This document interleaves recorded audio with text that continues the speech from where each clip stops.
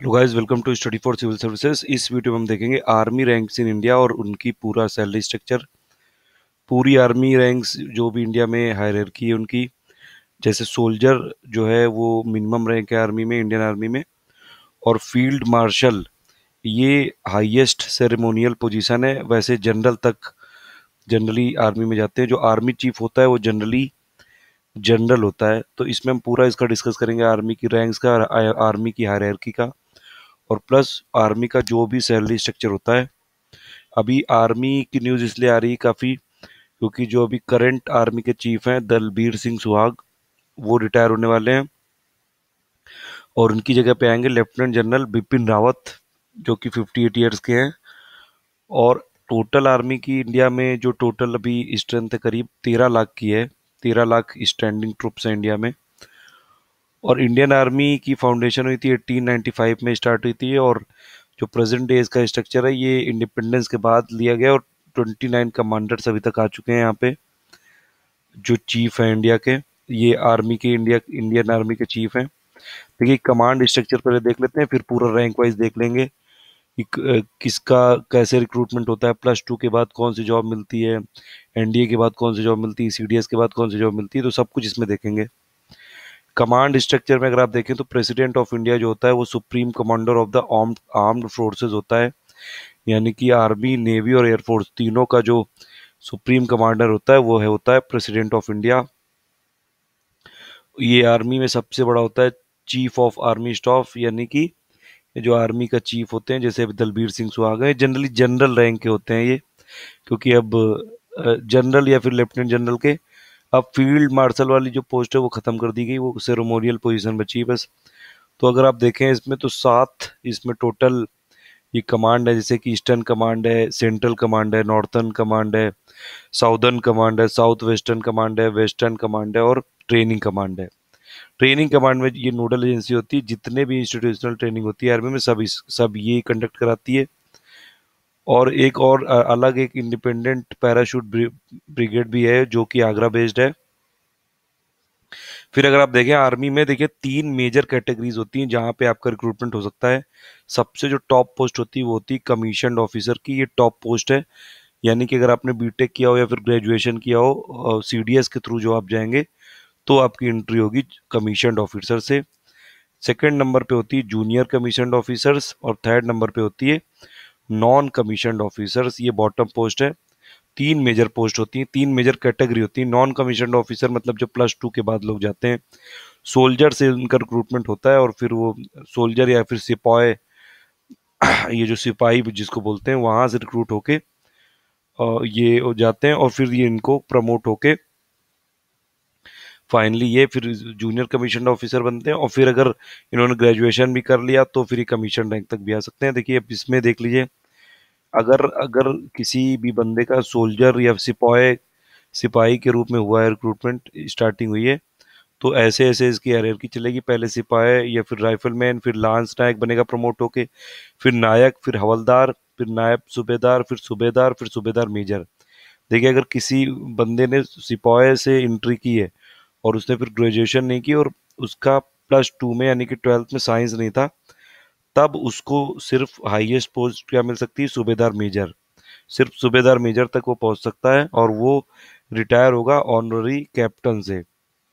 लेकिन अगर आपने इंडियन आर्मी को ज्वाइन किया एनडी और सीडीएस एग्ज़ाम्स क्लियर करने के बाद या फिर जैसे बीटेक के बाद, आजकल कई सारे एग्ज़ाम्स होते हैं और भी जो सेवेंटी परसेंट मांगते हैं बीटेक में भी और सेवेंटी परसेंट मानते हैं प्लस टू में और बीटेक के थ्रू कई सारे जो एंट्री होती हैं टीजीसी ये जो टेक्निकल ग्रेजुएट ट्रेनिंग वाली होती हैं और प्लस एनडीए सीडीएस तब आपकी की ऐसे होगी कि देखिए एनडीए में जो लोग जाते हैं, पहले उनको ग्रेजुएशन कराया जाता है और फिर बनाया जाता है लेफ्टिनेंट फिर कैप्टन फिर मेजर फिर लेफ्टिनेंट कर्नल फिर कर्नल फिर ब्रिगेडियर फिर मेजर जनरल और फिर लेफ्टिनेंट जनरल तो ये एनडीए सीडीएस की ये ऑफिसर रैंक है। फिर आप और आगे अगर देखें इसमें ये देखिए टोटल सैलरी स्ट्रक्चर है जो आपको ज़रूर जानना चाहिए और आपको बहुत ज़्यादा इंटरेस्ट भी होगा। सबसे जो लोवेस्ट पोस्ट है वो सिपाही की। उसका पे बैंड इतना होता है पाँच हज़ार दो सौ से बीस हज़ार दो सौ तो अगर करीबन उसकी सैलरी आती है पच्चीस हज़ार। फिर सेकंड पोस्ट है जो सिपाही से थोड़ी सी बड़ी जब वो प्रमोट हो जाता है तो लांस नायक बनता है। उसकी सैलरी तीस हज़ार के करीब है, फिर वो नायक बनता है, उसकी पैंतीस हज़ार के करीब है। और प्रमोट हो जाता है तो हवलदार बनता है, उसकी चालीस हज़ार आ जाती है, फिर नायब सूबेदार बनता है, फिर फोर्टी फाइव उसकी आ जाती है, फिर सूबेदार बन जाता है पचास हज़ार और सूबेदार मेजर करीबन पैंसठ हज़ार। तो अगर आपने प्लस टू किया और ग्रेजुएशन नहीं की और साइंस आपका सब्जेक्ट नहीं है प्लस टू में तो फिर आप सूबेदार मेजर तक ही केवल पहुँच सकते हो हाईएस्ट लेकिन अगर आपने ग्रेजुएशन करके एंट्री की है एनडीए सीडीएस या फिर बीटेक करके तो आपकी लेफ्टिनेंट से एंट्री होती है। लेफ्टिनेंट से, जिसकी सैलरी होती है सिक्सटी एट थाउज़ेंड फिर प्रमोट होके बनता है कैप्टन, जो सेवेंटी फाइव थाउज़ेंड होती है। फिर मेजर बनता है वन लाख के करीब होती है। फिर लेफ्टिनेंट कर्नल बनता है, एक लाख, सवा लाख के करीब होती है। फिर कर्नल बनता है वन पॉइंट थ्री लाख से भी ज़्यादा होती है। और ये फैसिलिटीज़ काफ़ी ज़्यादा बढ़ती जाती हैं इसमें।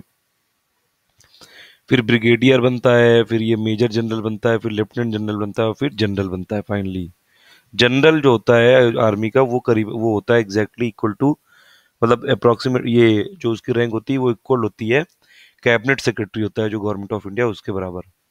तो वो अब अगर आप देखें इसमें तो सबसे पहले इसमें बॉटम वाली पोस्ट से चालू करते हैं तो ये नॉन कमीशन जो ऑफिसर्स हैं, ये वाले सबसे एंट्री लेवल होता है। ये जो राइट साइड में जो आपको डायग्राम दिख रहा है, देखिए सिपाही से एंट्री फिर वो बनता है लांस नायक लांस नायक उसको इन्फेंट्री में बोलते हैं और कैवलरी में बोलते हैं एक्टिंग लांस डफरदार फिर लांस नायक से प्रमोट होकर बनता है नायक, फिर बनता है हवलदार। तो ये हो गया नॉन कमीशन ऑफिसर और फिर उसके बाद जूनियर कमीशन ऑफिसर बना दिए जाते हैं इनको नॉन कमीशन को पर प्रमोट करके तो बनते हैं ये नायब सूबेदार, फिर सूबेदार और फिर सूबेदार मेजर। सूबेदार मेजर हाईएस्ट पोस्ट होती है, जो प्लस टू से जाता है और जिसने जो ग्रेजुएशन नहीं करता है और जिसका साइंस सब्जेक्ट नहीं होता है। तो ये है देखिए, ये नॉन कमीशन ऑफिसर से एंट्री होती है और फाइनली जूनियर कमीशन ऑफिसर बनकर निकलते हैं, अगर आपने ग्रेजुएशन ना किया हो तो। ये की दी हुई है, देख लीजिए इसमें, ठीक से। और ये इन्फेंट्री में हवलदार है, वही दफरदार है के बराबर है। इन्फेंट्री में जो नायक है, वो कैवलरी में लांस डेफेदार के बराबर है। फिर लायंस नायक है जो वो एक्टिंग लायंस डेफेदार के बराबर है। तो ये है इसकी पोस्ट, लोअर पोस्ट है। अब इसमें देखिए, जो आर्म्स में जो बंदे रहते हैं, उसको जो इंसिग्निया जो होती है, वो इस हिसाब से चेंज होती है। देखिए जब सिपाही होता है जो, उसको कुछ नहीं होता है, वो सिर्फ़ ऐसा ही होता है, उसको कोई इंसिग्निया नहीं होती मतलब कोई सिंबल नहीं होता है। जब प्रमोट होकर लांस नायक बनता है वो, तब उसके में एक आ जाती है ये।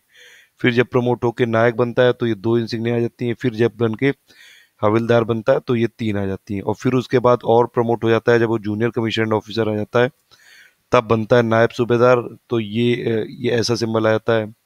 फिर सूबेदार बनता है तो ये सिंबल आता है और फिर फाइनली सूबेदार मेजर आता है तो ये जो गवर्नमेंट ऑफ़ इंडिया का अशोक का सिंबल है ये बन जाता है। और यही देखिए इसमें लिखा हुआ है कि सिपाही को ये इंसिग्निया नहीं है फिर जो ये लांस रैंक होता है वही होता है। जो नायब रिसालदार होता है कैवलरी में और आर, आर्मर्ड रेजिमेंट में इसको जमादार बोला जाता था 1965 तक। फिर टू यानी कि सूबेदार जो है इन्फेंट्री में, इसको कैवलरी में और आर्मर्ड में बोलते हैं, रिसालदार। और सूबेदार मेजर जो है ये इन्फेंट्री में इसको बोलते हैं रिसालदार मेजर कैवलरी और आर्मर्ड रेजिमेंट में। तो ये होगा जूनियर वाले।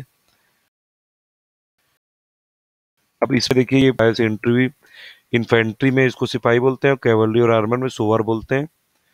तो इसमें कोई बैज नहीं होता है और ये 19 साल की सर्विस या बयालीस साल में रिटायर होता है। अगर फिर उसके बाद प्रमोट होकर ये बनता है लांस नायक और जिसको कैवलरी बोलते हैं एक्टिंग लांस दबेथर तो बाईस साल की सर्विस है फोर्टी एट फिर चौबीस साल की सर्विस है फोर्टी नाइन तो ये लांस नायक से प्रमोट होकर नायक से, हवलदार से, नायब सूबेदार से सूबेदार से मेजर।